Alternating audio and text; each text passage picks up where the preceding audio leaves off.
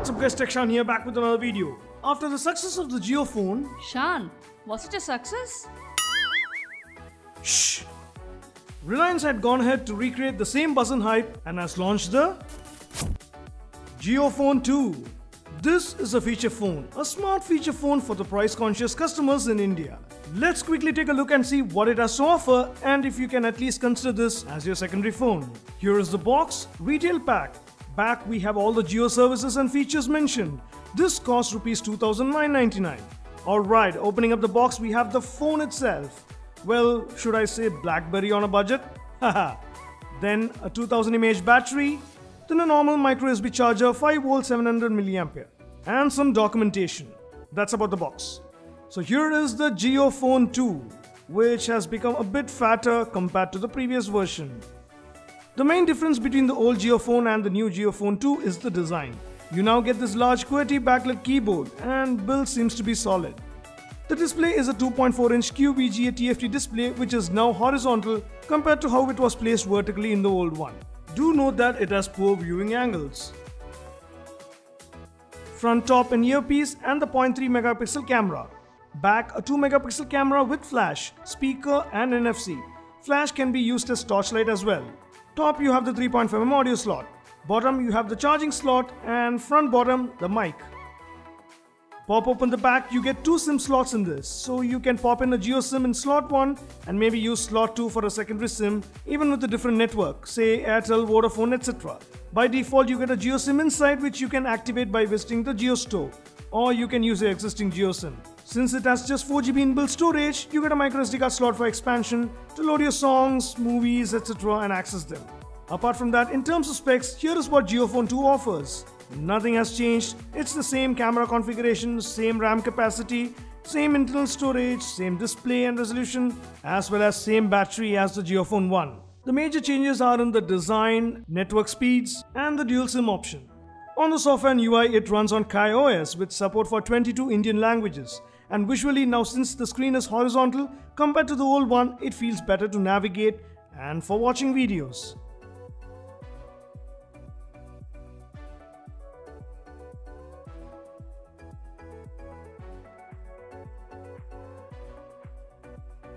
You get all the usual features phone book, SMS, contact, camera, gallery, and of course, Jio content services preloaded like JioTV, etc. And huh, Google Voice Assistant as well. How's the weather? Currently, Chennai is 31 and partly cloudy. This device supports Bluetooth, NFC, GPS, Wi Fi, and FM radio. FM radio also works without earphones. The audio output via the headphone jack was good, and so was the external speaker. It was pretty loud.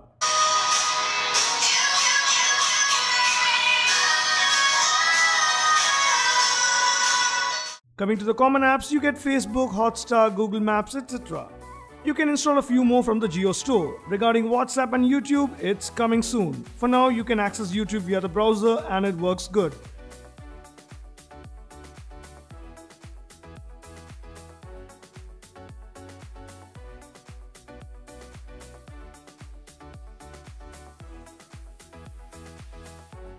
Here are some Facebook app looks.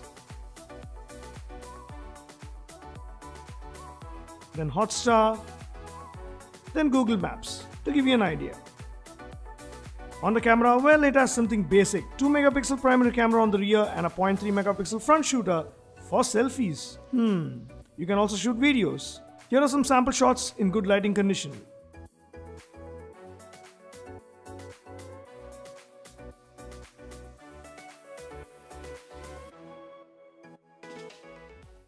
Recording this using the front-facing camera of the JioPhone 2 and the audio is also through that.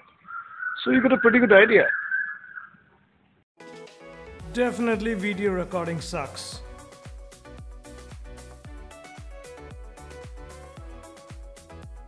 Coming to the battery, it has a 2000 mAh removable battery with a standby time of 15 days. I have not tested that frankly, but given the previous track record, you should be good with it. So, what do I think about the JioPhone 2? This device is more suited for casual non-tech savvy users who are switching from basic feature phones. This is not a smartphone replacement and I don't see this as a primary device at all. You get a working feature phone with smart capabilities and basic app support, free access to movies, live TV, internet, unlimited calls, and a few more for $2,999 and a monthly recharge. You can also connect this phone to your TV with a cable that is sold separately and enjoy Jio content services like movies, etc. on the large screen. What do you guys think about the device? Would you buy one spending 3000 rupees when you can shell out a little extra and get a smartphone? Let me know your thoughts in the comments below. Would love to hear what do you think about it. So that's it for this video. Hope you found it helpful. If you did, give it a big thumbs up, like and share, and don't forget to subscribe to the channel for more awesome tech content. We'll catch you in another exciting video. Until then. If you're new to Tech Shan, make sure to hit that subscribe button along with the bell icon so that you don't miss my awesome tech videos.